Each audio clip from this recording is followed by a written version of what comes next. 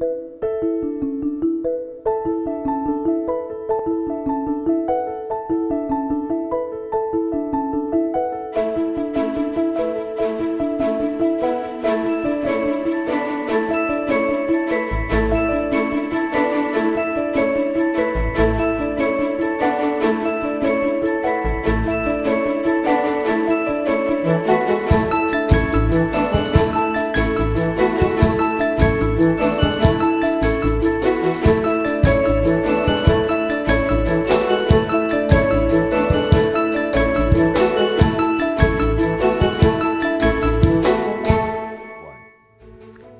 This is Douglas County. I'm your host, Rick Martin. The winter season is upon us, and as the temperature continues to drop, the possibility of snow and black ice increases every day. In preparation for the inclement weather, our Department of Transportation is making plans to ensure the safety of Douglas County citizens on the roads. We take an inside look at the winter storm operations with Director Miguel Valentin. This is Douglas County. Director Valentin, thank you so much for joining me today. Thank you for having me. Appreciate it. Well, you know, uh, at the beginning of the year, 2019, um, we're, we're dealing with um, just being ready for storm winter operations. Mm-hmm. And we know that it's so, uh, you are such, your department, Director of Transportation, your department is such a critical department for Douglas County to be ready. Can you tell me how you become ready for storm winter operations when you hear? Well, we actually start preparations very early in the fall. Uh, we have a fleet of trucks that we normally use for paving operations. And as the fall goes into winter, we have to phase out of one operation into the other. So we make sure that the trucks are fully operational towards the end of the year. Uh, we make sure that we have uh, supplies ready for the winter. Supplies are salt, gravel, sand, things that we typically would put on a road uh, when we have inclement weather, icing, uh, heavy snow, and that sort of thing. So that is uh, typically what we do in anticipation. Now, when in anticipation of, uh, of the winter weather. When we do the actual switchover to winter operations, we take sand spreaders that uh, are detachable and we mount them on our tandem trucks. Ah. And we have three of those. And so we reserve uh, one or two trucks to continue our paving operation uh, as long as we can but then we have to have uh, the winter equipment ready. So we have the sand spreaders attached to the trucks and tested out, make sure they, they're fully functional. And then we will take them out on the road, test them, make sure that all the pumps work and the hydraulics and everything. And then we put them inside uh, the hangar uh, at Public Works, uh, ready for winter operations. We will have a loader uh, that's ready to, uh, as soon as we know that winter weather is coming, to load up the trucks and have them indoors, uh, out of the cold, uh, ready for deployment. You know, you mentioned uh, important factor that three trucks. Mm. little do people know Douglas County the Department of Transportation is relatively, would you say, a, a small department? It is a, a, rather small department for the size of the county. For the size of the county, exactly. Mm -hmm. And with that in mind, would you, how many employees roughly would you say you have? We have a total about 30 uh, employees in that division. Mm -hmm. uh, however, uh, they're not all, uh, they do different functions. So uh, some of those employees uh, do the paving, uh, some of them do other maintenance repairs, sidewalk repairs, uh, concrete work, work on, on bridges or guardrails whenever, small repairs. And uh, they also do the mowing. Uh, so we have so we have a crew dedicated to mowing during the mowing season. So it's So- like multitasking for the employees, most, huh? most definitely, and, and they're cross trained so they can help in the wintertime when when necessary. So uh, no question about it. But uh, luckily, uh, this past uh, budget season, uh, we were uh, allowed, given the funding to to procure another two tandem trucks with the winter equipment, uh, the sand spreaders and snow plows. Now, we placed the order many months ago in the hopes that they would be delivered uh, on time for the winter weather. Mm-hmm. Uh, that is not going to be the case. So they will, they will arrive sometime in the spring. Hopefully, we will have no snow or ice uh, before then. but uh, so we will be augmenting our fleet to, to five trucks uh, for winter Okay. operations for next season. Sounds like you have a growing operation, which is good for a growing county. E- Exactly. We're, we're trying to, uh, to make sure that we are uh, staying uh, ahead of uh, the, the, the need because, again, as you say, a growing county, we also, uh, and a lot of people may not know this, uh, we also uh, respond to incidents or situations on state routes at, at times just because we can get there quicker than they can. We don't like to volunteer uh, necessarily to do that on a regular basis because, well, the, the Georgia DOT has a lot more equipment and a, a lot more manpower than we do, but uh, but on occasion we will respond to those situations uh, because we can get there quicker. So that explains quite a bit, even for my department in terms of communications um, department, because oftentimes, you know, in emergency situations in the winter, for example, with Interstate 20 coming through our county, um, if there's an accident on Interstate 20, which is the state highway, uh, DOT may be there first. So when the media sees that, they oftentimes call my department um, asking what's going on, and I'm trying to tell them, you know, Georgia Department of Transportation is responsible. Um, they should be there. So now I understand. We're kind of connecting the dots. So little did I know, sometimes DOT is asked to assist or just responds until they get there, huh? Absolutely. Uh, they could, uh, the Georgia DOT may have their, their forces deployed in, in different areas, and they will respond uh, in due course. However, uh, oftentimes we can get there quicker, and, and so if it's an emergency situation, we, we will provide assistance uh, uh, as needed. And you know that leads in, leads to my next question. Uh, in what ways, given the size of your department, I guess it's uh, encouraging that you work in a collaborative way with Georgia Department of Transportation. But in what ways do you work with with GDOT, as we like to call it? Well, um, on the maintenance side, uh, in addition to the response, sort of a, a mutual aid agreement, if you will, uh, if we have a need for equipment as well, or particularly materials, uh, there is a material depot uh, near Thornton Road, uh, a DOT uh, depot that uh, on occasion, if, uh, if we are running low on salt uh, or if there's a need to apply the salt to a state route, uh, they will allow us to go there and, and uh, load up the truck. And essentially, we're, uh, we're using their material mostly on their road too. So, so essentially, we're assisting with our equipment to, uh, to clear up uh, the, the interstate route. Gotcha, gotcha.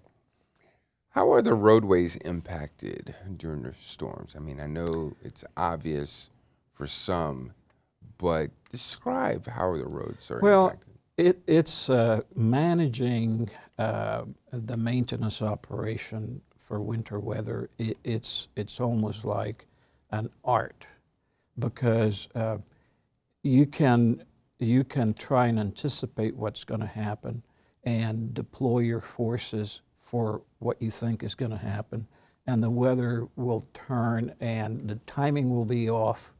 Uh, instead of Uh, snow, you it might turn to ice, and so you almost have to be ready for whatever is going to happen. And you hope, uh, really, I mean, we are in essence anticipating uh, a variety of things, and we will be able to respond to whatever we get. The, the issue is are we uh, sort of anticipating the right uh, uh, weather event? That, you know, will it play out that way? If it does, then we're ahead of the, uh, of the curve. We're, we're uh, out there quicker uh, than, than we would otherwise. If it turns, for example, we may have a, a sand spreader ready to deploy to, to go address a, a, a patch of ice somewhere, and the weather turns, and now it starts raining. Well, we may not need to use that Mm, on on that uh, area because Understood. because the rain will wash it away, or instead of the gravel that we typically would deploy with the sand, uh, with the uh, with the salt, we might just uh, go to sand, straight sand, because it will be uh, washed away, and broken up and washed away. so information is the key for your preparation. It it is, and and um, no, no question about it. We do stay uh, in touch. In, in fact, with, with the Weather Service. In fact, we are part of that emergency response operation. So, whenever there's um, uh, significant inclement weather, and and uh, the the county forces, the emergency management staff is deployed, we would be one of the part of the team that that deploys to the uh, operations center to make sure that we manage that uh, from that standpoint. Dynamic. It, it is uh, not only uh, necessary, uh, you know, the transportation component for the public, but also for emergency equipment. Sometimes uh, you, you may have, uh, unfortunately, you could have a fire um, at the same time as you have a winter event, and and we need to make sure that that emergency equipment is able to get to where it needs to. Uh, and we may uh, have a, a salt and sand truck ahead of the uh, fire truck if necessary to make sure they can get there.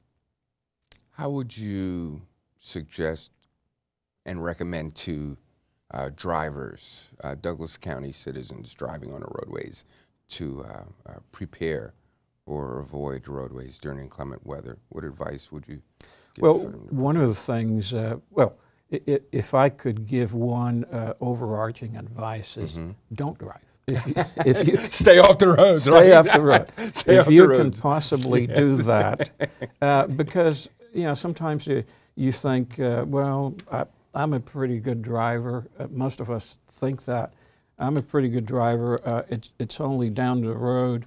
Um, I, have done this a, a gazillion times, uh, and, and so it will not be a problem. And what I would say to those folks is, uh, it's not you that I'm worried about.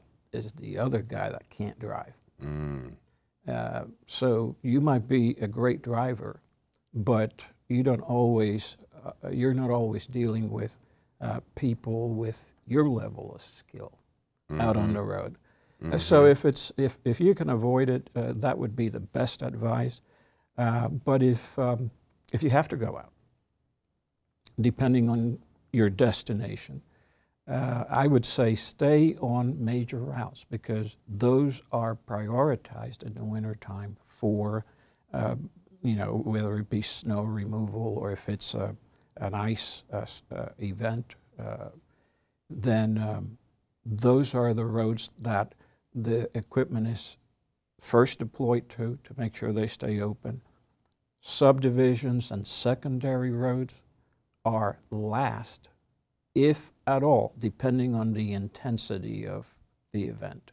mm-hmm. So, um, whether you can get there if it's if it's a mile away, uh, normally through back roads, uh, but it would be two miles if you go on major routes. I would say I would recommend go on the major routes. You stand a better chance of getting there and back safely than trying your typical route that uh, is not going to be as clear as the major routes. So stay off the secondary roads. Correct. stay on the major routes. Correct. Beautiful, beautiful. You know, you talked about you know staffing. Um, you know, you, you limited resources in terms of staffing, but tell us a little bit about um, how your staff during snow winter operations, because little do people know. I think, um, you know, given your staff, you're. I've seen you, you guys in action. You're a 24/7 operation when it hits, right? Absolutely. Tell us a little bit about that. Well, uh, essentially, we have uh, everybody in the maintenance department is an on-call person, meaning that uh, if we have an emergency situation, it's all hands on deck. And uh, so we would have the ability to call uh, folks uh, when needed in the middle of the night, uh, often is the case, and they will respond to, to assist. So we may, we may go into or anticipate a certain level storm and, and deploy um, a crew of perhaps six or eight individuals um, who, are, who will be on standby at Public Works, ready to go wherever they need to. And the calls will come in from the operations center or the sheriff's office or 911, uh, as the case may be, depending on the type of storm. So they will deploy to where they're needed, but if the situation deteriorates, then we will need additional staff. We will call the rest of the group in, and as they come in, uh, then they will be deployed to, to assist.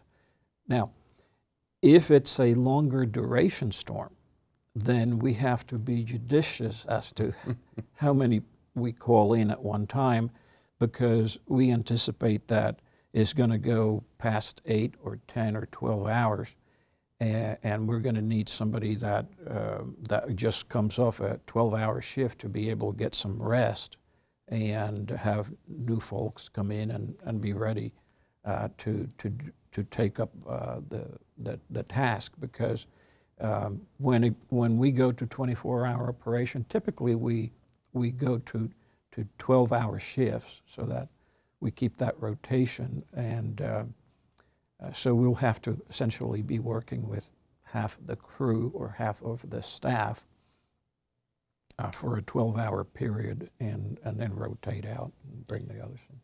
So you, you mentioned 911, um, emergency operations, and it's interesting because I think that's really educational to let people know that um, you, you work in a sort of integrated way in terms of emergency operations for the roadways uh, with 911 by receiving notifications Correct. um, on ice or, or you know, a response. You know, tell us a little bit about that.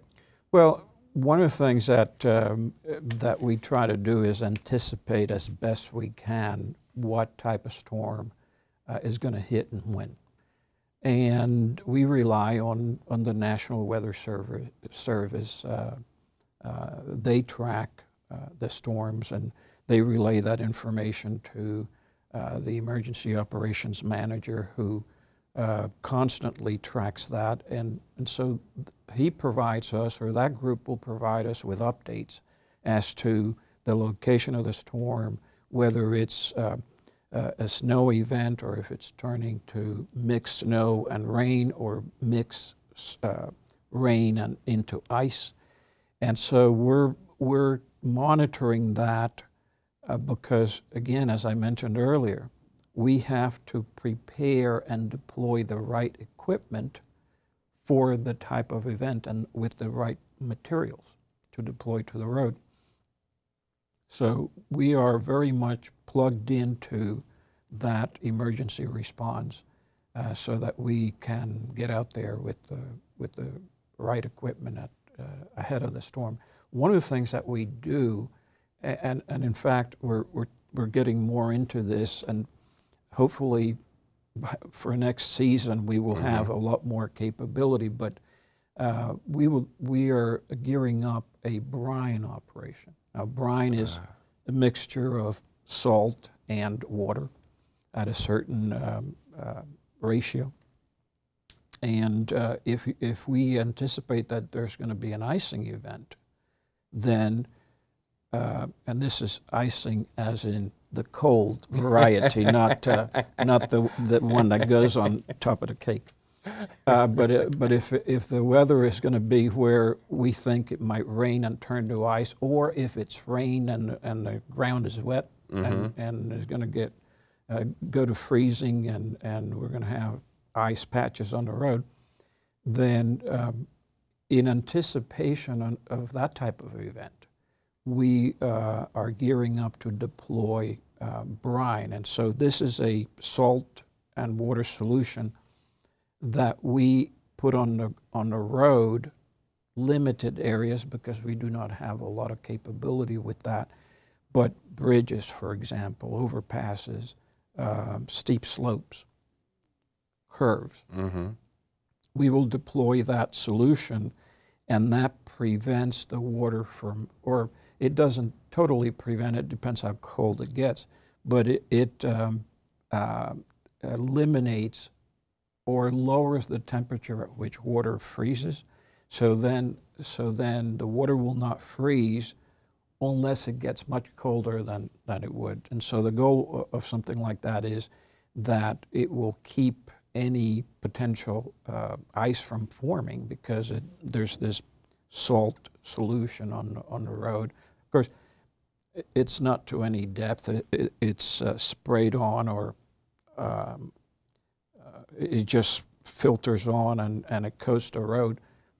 It doesn't ice itself. It, so therefore, uh, it, it helps with that situation. And it also helps if, in fact, later on, there should be, the weather continues to get colder and we get more icing uh, in other areas, those areas can still ice over if, if the temperature goes low enough. However, as it begins to warm up, those are the first areas that the ice breaks up on. Mm-hmm. And those are the first areas that would be clear, which is exactly what you want. So even when the weather doesn't help uh, as much as it should or could or we would hope, um, uh, we still get benefit from deploying that, that brine solution. So um, that is something that we're, we're, and there's, you know, the Georgia DOT is doing more of that. However, they, of course, they do that on the state routes, uh, but we're looking to do the same thing um, on our county roads. Gotcha. Some opportunity to grow in the advancement mm-hmm. of technology sure. and responding. So that's great. Thank you. Thank you, Director Valentin. My pleasure. When we come back, we'll take you out into the field, field operations of the Department of Transportation here in Douglas County to show you some of the equipment.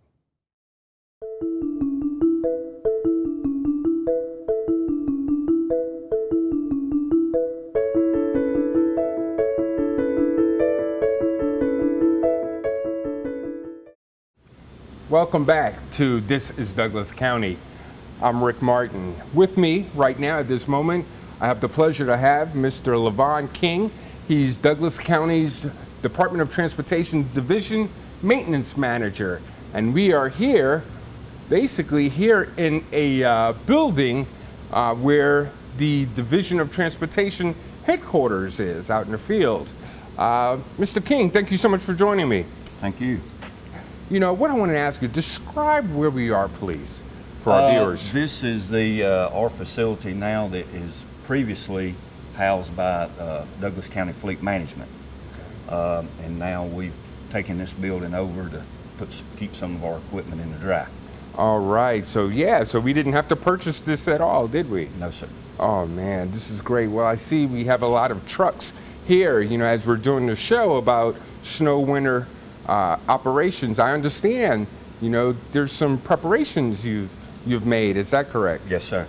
You know, tell me, I, I noticed some trucks here. Can you describe what's behind on these dump trucks? Yes, sir. These are uh, tandem axle dump trucks with uh, nine yard salt and sand spreaders in the back of them. Oh, how long did it take to put it on? Uh, they take a, about 30, 45 minutes a unit. Really? How many men it takes to put it on? Four. Four. Four men each to, yes, to put it back?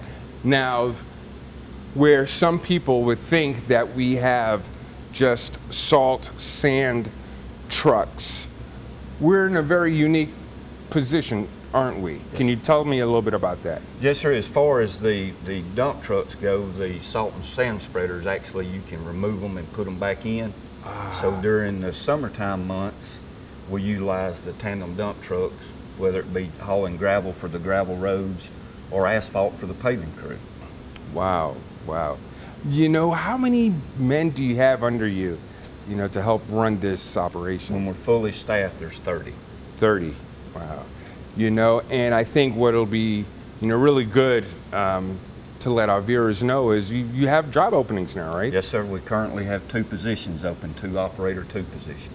Okay, and we encourage folks to visit celebratedouglascounty.com, you know, where they can apply for these positions. How long have you worked here, Mr. King? October was four years. Four years. Tell us a little bit about your background. Well, I come from um, originally when I got out of school, Uh-huh. which was a long time ago. uh, I went to work for Cobb County DOT Okay, for a while, and then um, I went to a um private contractor, gotcha. and it was in the road building business, in the paving business, concrete business, and um, I worked there for 18 years. Wow. Oh man, that's great. You know, well, in Douglas County, you know, we value having you here, Thank you. and I've heard you know very good things. And I had the pleasure to work with you recently. Um, you know, tell me a little bit about snow winter operations, how it impacts you 24/7 when it comes to like say black ice. Well, we, we prepare, of course, we keep a very close contact with Jason Milholland. Uh, And we- he's director of emergency management Yes, agency for the county. And we keep a track with the weather, and if they're calling for some inclement weather, um, and we know it's on its way, we split the guys up in two shifts, two 12-hour shifts, so we're, we're here around the clock. Um, in some cases, uh, last week, for example, uh, the news was calling for some black ice situations last Monday or Tuesday morning.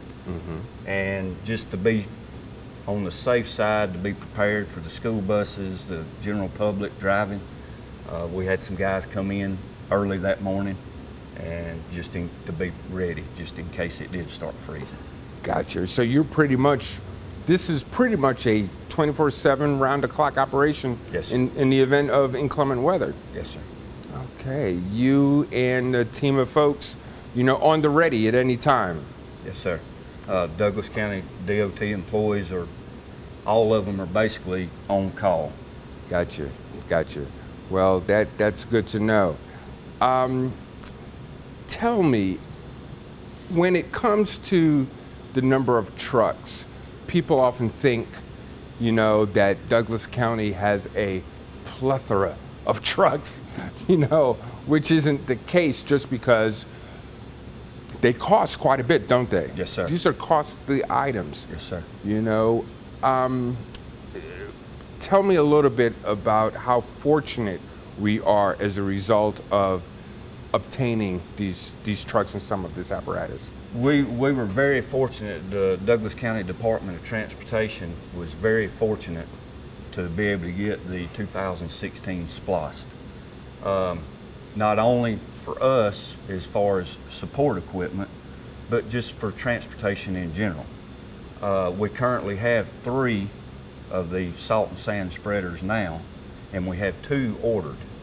Um, the two that we have ordered, these are not equipped with uh, snow plows, but the two that are that we have ordered have snow plows on them, along with a salt and sand spreader on the back. Wow, so that's great. So with the population of of uh, well, the growth of population for the county, so is our Department of Transportation, thanks to the citizens. Huh? Yes, sir. Oh, that's great. That's great. Well, thank you. Thank you so much. Really appreciate the time you're, Yes, you've taken uh, uh, for this, and um, look forward to you showing us around a little bit. Sounds good. All right. We're now outside in front of the Salt Dome. Mr. King, tell me a little bit about what's behind us. Well, on the right here, you have uh, which is the pure salt that that we put out on the road with a mixture of washed 89 stone. Um, On the right here is the pure salt, and on the left is what's already been mixed, ready to go out on the road. And this is what goes in the dump trucks that we just saw Yes, with the shredders on the back, right? Yes. Now, when people see this, they may think, is this all we have for the county? Which I know for a fact we have a wonderful collaborative relationship with Georgia Department of Transportation, Yes, right? And they have some salt domes. So tell me a little bit about that relationship we have. Yeah, when, when we have a major event, such as, you know, we had two last year, um, the Georgia Department of Transportation has a facility over on Presley Mill Road uh, where they keep a large amount of salt and sand stockpile. And they also have a facility out on I 20 at uh, Lee Road that we were able to utilize also. Uh, we usually we try to help them out. They'll allow us to get material from their locations. And with this being Douglas County, you know, the, the Georgia Department of Transportation, they put most of their efforts towards the interstates. So a lot of times we'll help them out with, uh, especially the big hill on Highway 5 at Dog River. We usually try to help them out. And uh, doing that, they kind of pay us back by letting us get some material from them from time Gotcha. to time. Oh man, that's been great. Mr. King, I can't thank you enough. Thank you. Really appreciate it. Well, I hope you enjoyed an opportunity to take an inside look into the Department of Transportation here at Douglas Counties, how they prepare for snow winter operations. My name is Rick Martin, your host, and this is Douglas County.